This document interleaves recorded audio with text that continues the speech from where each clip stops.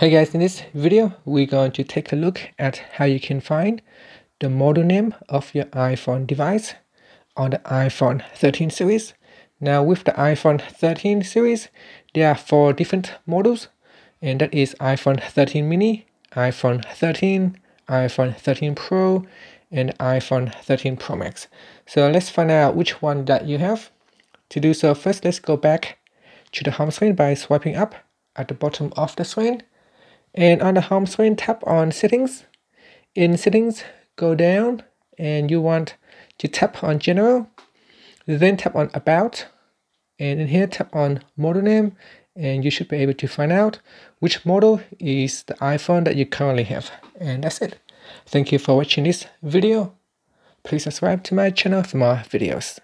Now you can see here, uh, with this device here, this is the iPhone 13 Pro.